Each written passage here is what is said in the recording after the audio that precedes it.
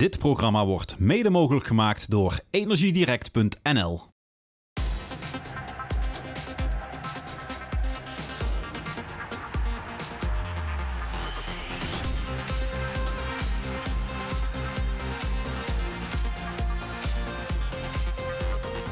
Goedenavond, het is dinsdagavond. Leuk dat je kijkt naar PSV TV met twee bijzondere gasten vandaag op de bank. Waarmee we gaan praten over komende vrijdag. Want dan spelen zij tegen Ajax. Misschien wel de belangrijkste wedstrijd, de grootste concurrent van de PSV vrouwen. Welkom, Vanity Leverissa en Meerte Morees op de bank. Uh, werkelijk alles ademt PSV Ajax. Hè? Op social media, op de website. Meerte, het is uh, gekkenhuis om het maar even zo te zeggen. Ja, PSV Ajax, dat, uh, dat leeft altijd wel enorm. En uh, ook in de spelersgroep merken we dat. Dus uh, ja. aan de vrij staat er wel een topper op het programma. Wat vinden jullie daarvan, dat dat zo groot wordt opgepakt? Vooral hoofdsponsor energiedirect.nl pakt dit heel breed op. Ja, dat hebben we inderdaad gehoord, dat er van alle overal acties komen. En ja, zo'n wedstrijd, daar doe je natuurlijk voor. meestal staan er op de hertgang zo'n 2000 man uh, langs de kant. En ja, dat is natuurlijk fantastisch uh, om voor te spelen. Ja, jij knikt gelijk, uh, ja, Vanity. Ja, je voelt echt dat zo'n wedstrijd leeft op de club. En ja, ja er wordt van alle acties gedaan, dus ja, super mooi. Ik vraag me af, jullie hebben zoveel wedstrijden al gespeeld. Ben je nog zenuwachtig voor zo'n wedstrijd, Vanity? Ja, zenuwachtig wil niet zeggen, maar je hebt toch wel een beetje spanning. En uh, ja, natuurlijk een uh, mooie wedstrijd, een mooie affiche. Dus ja. ik hoop dat er heel wat moois van gaan maken. En, en, waarom spanning voor dit soort wedstrijden? Ja, het is een mooie affiche, het is, het is een goede ploeg ook waar jullie tegen spelen. waarom spanning? Ja, het is toch Ajax, zeg maar, een grote club. ja, mooie, mooie tegenstander. En ja, zoals ik al zei, het leeft echt op de club en ook in het team. Dus, ja. Ja. Dat geeft wel extra, extra motivatie. En ik, ik, wil jullie niet slechter moeten in praten, maar die vrouwen die staan eerste op dit moment in de competitie. Jullie hebben er twee keer van verloren, november en september. Hoe, hoe groot zijn die revanchegevoelens op dit moment dan? Uh, nou ja, in het begin van de competitie zijn we ook niet zo goed gestart. Dus uh, wij willen nu gewoon laten zien dat we met reeks, ja, waar we nu steeds uh, mee eindigen, dat we dat uh, nu ook tegen Ajax kunnen voortzetten. En ja. ja. dat is wel een beetje een graadmeter natuurlijk om zo'n tegen, ja, tegen zo'n grote tegenstander te laten zien wat we, wat we kunnen. Ja. Is, is zij een beetje van de revanchegevoelens? Hoe zit Vanity in elkaar volgens jou, Meerte? Nou, ik, ik zag haar wel gelijk met... nog wel een, uh, ja, uh, afgelopen keer tegen Ajax uh, had, ze, had ze een kans. En ja, normaal schiet ze er altijd in. En toen tegen Ajax helaas niet. Dus ik denk dat Vanity in dat leeft... opzicht wel... Ja. Ik ben wel gebrand. Ja. Bij jou leeft het extra, zeg ja. maar. Ik zag je ook gelijk met je ogen rollen toen ik het had over revanchegevoelens. Ja, ja ik, tuurlijk, je wil natuurlijk winnen thuis. En, het zal heel mooi zijn. Ja. We hebben het uh, uit hebben het eigenlijk, uh, hebben het goed, goed gedaan. Alleen uh, helaas maakt, maakten we toen de kansen niet af. En ja. hopelijk is dat vrijdag wel het geval. Ja, dus jezelf toen iets tekort gedaan en dat ga je nu gewoon ruimschoots compenseren. Ja. ja. We gaan er straks ongetwijfeld nog even verder over praten. We gaan ook even kijken naar de mannen. Die trainden vanochtend op de hertgang en dat ging er zo aan toe.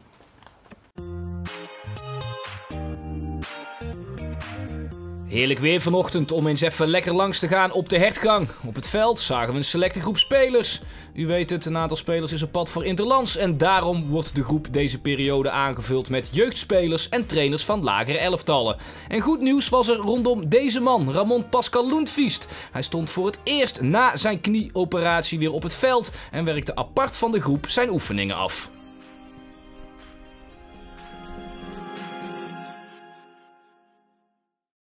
Dames, puur de laatste duels bekeken. Hoe, hoe staan jullie daarvoor? Hoe is het gegaan de afgelopen wedstrijden? Wel drie keer gewonnen hè? tegen, even kijken, PEC, Achilles en Herenveen. Hoe ging het voor jullie gevoel? Vanity, kijk jou even aan. Uh, ja, de uitslagen natuurlijk uh, prima. De, ja, tegen Herenveen en PEC Zwolle was best wel een moeizame wedstrijd. Maar uh, uiteindelijk hebben we die ook met wilskracht weten te winnen ja, hopelijk uh, kunnen we deze lijn wel uh, doortrekken. Ja, hoe tevreden zijn jullie dan? Want je zegt, je, je spel is dan misschien nog niet helemaal zoals jullie het willen, maar de resultaten zijn nog goed. Hoe tevreden ben je dan? Ja, natuurlijk hoop je ook dat je in ieder geval beter voetbal kan laten zien. En dat is niet altijd het geval, maar tevreden, ja, in ieder geval uh, drie punten bij die wedstrijden. Ja, bij elke wedstrijd dan drie punten. Ja. Dus ja, dan kan je wel tevreden zijn. Ja, vooral die laatste is toch wel lekker. Hè? Als je net voor zo'n belangrijke wedstrijd tegen Herenveen, als je dan uh, drie punten pakt, Meerte. Ja, en daar hadden we ook nog wat goed te maken van de eerste wedstrijd uh, uh, ja, in, de, in de zomer. Ja. Toen verloren we met 2-1, geloof ik. Ja. Dus eh, ja, dan eh, zo'n uitwedstrijd in Heerenveen, dan eh, is het altijd lekker om eh, drie punten te pakken. En die zat er lekker in, hè? Ja, dat was wel, eh, was wel een lekkere goal, een, ja. een, een, een lekkere goal, ja. Je zag de ruimte daar en je denkt eh, uithalen. Ja, precies. Het was een goede wedstrijd, eh, dames. Eh, eh, vooral die, ja, als, je, als je gaat kijken, hoe, hoe- verliep die wedstrijd zeg maar, tegen Herenveen? Want het leek heel erg close, zeg maar, gezien de uitslag. Ja, het was, ja, was een moeilijke wedstrijd. moeilijk, moeilijk veld. De omstandigheden waren niet echt perfect. Eerst zelf speelden we niet goed. En hebben we in de rust hebben we het een beetje omgezet. En dan zie je dat we de tweede helft dat het een stuk beter gaat. Eh, maak je de 1-0. Ja, dan maak je daarna ook nog de 2-0. Dan voel je toch wel weer eh, een opluchting. En waar zet je het dan om, zeg maar, in de rust?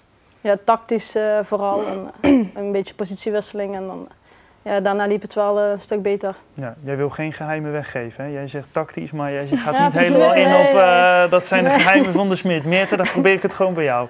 Want, nee, eh, bij mij, ik zeg ook niks. Jij zegt, jij, jij zegt, want dan ga je te veel verklappen natuurlijk in aanloop naar die andere wedstrijden ja, toe. wij eh, zeggen niks over onze tactische bedoelingen. Maar wordt er wel enigszins nog gescholden bij jullie in de kleedkamer af en toe? Of ga je nog wel eens op elkaar los als het even niet loopt in zo'n eerste helft?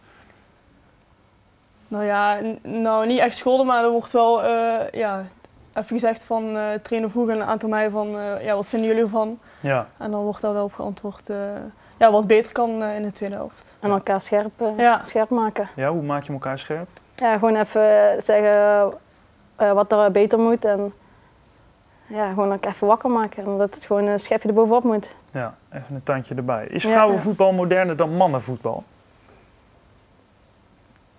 Ja, vind- ik vind van wel. Ja, waarom? Ja, nou ja, je ziet ook dat eh, het vrouwenvoetbal steeds groeit en eh, eh, ja, er komt steeds meer promotie. Net zoals wedstrijden van ons worden nu ook uitgezonden op de NOS. Ja, ja. Dus dat zijn ja, allemaal mooie ontwikkelingen voor, voor het vrouwenvoetbal. Ja. goede ontwikkelingen. maar ook misschien wel, jullie spelen straks play-offs. Daar denken ze bijvoorbeeld, ja, in de eredivisie denken ze er ook over na. Doen, voor, voor- voor wat jullie betreft?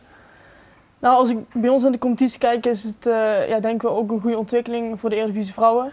Eh, ja, na de play of eh, na, we spelen nu drie keer tegen elkaar. Ja, En daarna de play-offs. Dus de bovenste vier strijden om, het kampioenschap en onderste vier die spelen tegen elkaar. En ja, je ziet dan wel dat de topwedstrijden ja, in de bovenste vier komen. Ja. Dus als speelster zijn, ja, is dat voor je ontwikkeling wel heel erg goed. ja, dat gaat volgens mij nog twee wedstrijden duren voordat jullie die play-offs eh, ingaan. Jullie spelen ook nog tegen Twente. Twente, ja. Ik kijk ook even naar jullie persoonlijk, Vanity, want jij bent er eindelijk na een hele lange blessureperiode, ben je er alweer een paar maanden bij inmiddels. Hoe was die periode voor jou? Ben je er sterker uitgekomen? Ja, ja, de periode was natuurlijk heel zwaar. Het is een lange periode. Lange Ja. periode van eh, revalideren. Ja, want leg even uit, je, je had een kruisbandblessure. Ja, ik heb eh, in december 2015 heb ik mijn eh, voorste kruisband afgescheurd. En ik had een scheurtje in de binnenste en de buitenste meniscus. Dus eh, ja, dat was wel even een flinke klap die ik toen moest verwerken. Ja, Daar heb ik tien maanden heb ik, hard en lang gerevalideerd. En in oktober 2016 eh, heb ik mijn rentree weer mogen maken. ja. En hoe? Maar wat, wat, heb, wat heb je geleerd uit die periode?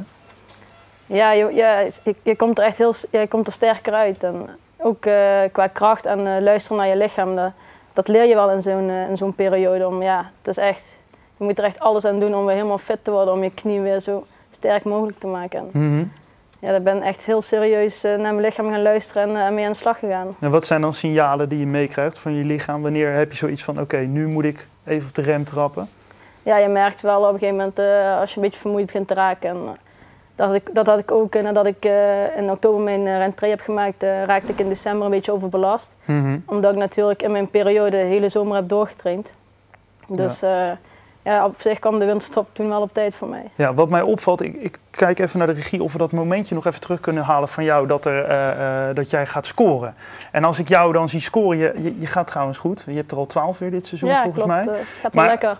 Let even op wat er gebeurt als jij scoort. Kijk, hier, dit is tegen, ik dacht ook Heerenveen. Ja. En jij juicht zo, nou, gewoon rustig, heel rustig. En dat gebeurt eigenlijk bij ieder doelpunt. Ja, dat klopt, dat hoor ik wel heel vaak. Ja, en ik wilde toch wel eens weten, hoe zit dat nou? ja, dat, ik krijg heel vaak te horen dat ik uh, best wel mag lachen als ik score. Ja. Maar ik, ja, ik weet niet. Ik, uh... Het doet jou niet veel. Het ja, is... natuurlijk was het altijd mooi om te scoren, maar ja. ja het is gewoon een, eh, een reactie, ja. Ja. Is het nog steeds een doel van jou ook om topscorer te worden? Of zeg je, ja, daarvoor heb ik eigenlijk te veel wedstrijden gemist?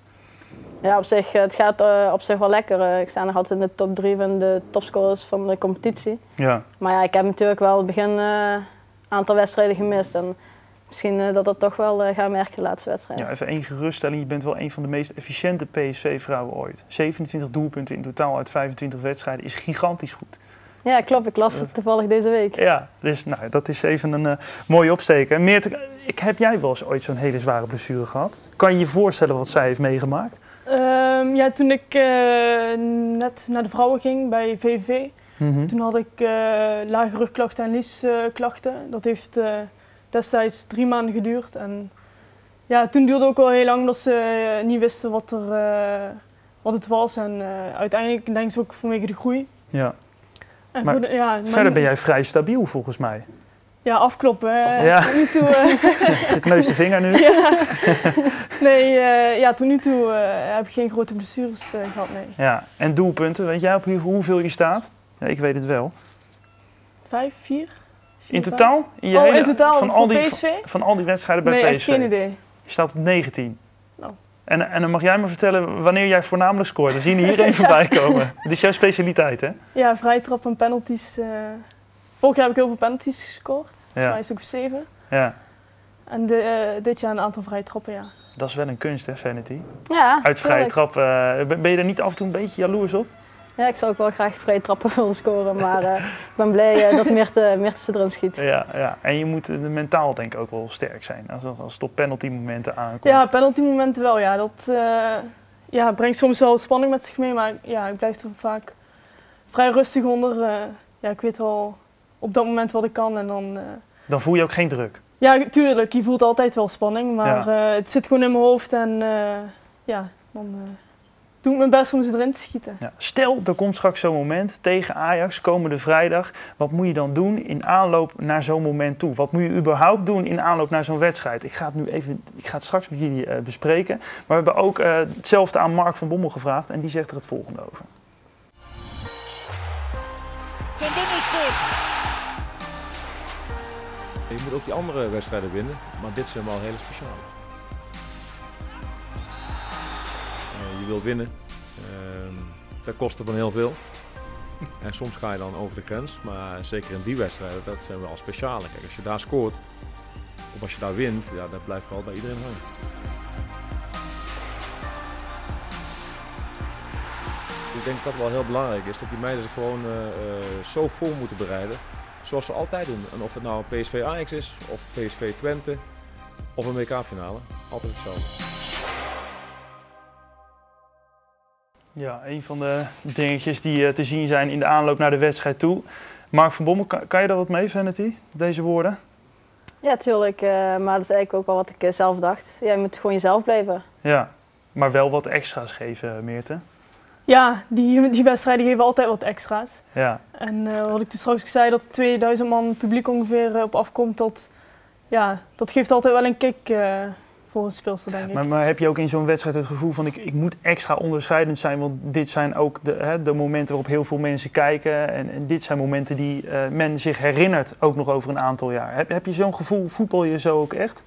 Ehm, nou, tijdens de wedstrijd daar denk ik er persoonlijk niet aan. Maar vooraf weet je wel, ja, er komen veel mensen kijken. Dus eh, ja, je moet eh, ja, misschien net een tandje extra laten zien. Ja.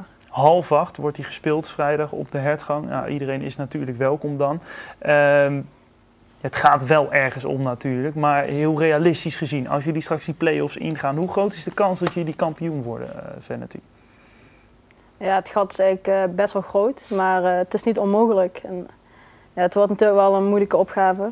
Mhm. Maar ik hoop in ieder geval dat we het zo goed mogelijk gaan doen en zoveel, zoveel mogelijk punten gaan pakken. Maar de, kans is wel klein, hè? Ja, Ajax, Twente zijn goede ploegen. ADO Den Haag is ook nog wel aardig. Dit seizoen misschien niet helemaal top, maar de kans is wel klein, denk ik. Dus als je heel realistisch bent, moet je dan misschien niet zeggen... we gaan toch voor die beker? ja bekerstuk, eh, een mooie prijs en daar eh, ligt de weg nog helemaal open. Hè. Dus eh, daar gaan we natuurlijk zeker voor. maar jij wil nog niks uitvlakken, hè? Jij wil nog niks uitlakken. Jij zegt, eh, we, we, blijven, we blijven overal in geloven. Want dat is knap natuurlijk. Hoe sta jij erin, Meerte? Ja, eh, wat Fenty ook zegt, eh, als je realistisch kijkt is het lastig om voor het kampioenschap. Maar ja, de punten worden gehalveerd, dus we spelen nog, na vrijdag nog twee keer tegen ze. Dus onmogelijk is het niet, maar ja, de beker, daar zitten we ook nog volop in. Dus er komen nog mooie wedstrijden aan in ieder geval. Maar die beker, daar gaat wel extra veel energie naar uit. Ja, ja. Ik ben wel een beetje de vervelende journalist aan het uithangen. Hè? Hier zo. ik wil toch even Ja, weten hoe dat- gretig jullie zijn voor die beker. Ja, heel gretig eigenlijk. Ik wil, ik wil graag die eh, beker winnen in ieder geval. Ja, Ja. prijs pakken. Ja. Dus, eh, Prijzen pakken en misschien ook wel tegen Ajax dan straks. Dat ja, zou- dat die zou- kunnen Ja, we tegenkomen eh, in de finale, ja. Dus, eh, ja, eerst die- Heerenveen thuis, ja, in de halve finale. ja, nou ja, die hebben jullie afgelopen, eh, afgelopen week verslagen. Dus jullie weten hoe het, eh, hoe het is om die eh, is. van het veld af te knikkeren. We gaan kijken wat er morgen in eh, PSV TV zit. Morgen in PSV TV aandacht voor Hector Moreno. Hij heeft het onder meer over de interlands die deze dagen plaatsvinden. En we duiken het verleden in met Sef Vergozen. Ja, dat is morgen in de uitzending. Eh, niet vanuit deze studio, maar wel gewoon eh, ja, met allerlei andere leuke onderwerpen. Belooft een leuke uitzending te worden. Dames, heel even kort nog voorspelling voor komende vrijdag. Wat zeg jij, eh, Vanity? 2-1. Ja, voor PSV. Ja. Jij knikt ja. dezelfde. Jij gaat precies Ja. mee. Jij gaat toch, jullie zeggen gewoon, we gaan het doelpunt nog incasseren. Nou ja, liever niet natuurlijk. Maar nou ja, in ieder geval drie punten, dat, Ja. Daar teken ik voor. Nou, dan doe jij nog even naar de kijkers toe. Eh, waarom moeten ze eh, vrijdag komen? Daar? Ik denk, ik denk dat we die, of pak die camera maar. Waarom moeten de kijkers komen? Oh, we moeten het wel even dus, Ja, dit is jullie moment. Zal ik het gewoon anders voor jullie doen? Ja, doe maar. Ja, de dames hebben er onwijs veel zin in. Komende vrijdag om half acht op de hertgang speelt PSV tegen Ajax. Zorg dat je erbij bent en dat je het niet mist. Dames, bedankt voor jullie komst. En ik wens jullie heel veel succes vrijdag. Dankjewel. Tot zover PSV TV. Tot eh, morgen. Dankjewel.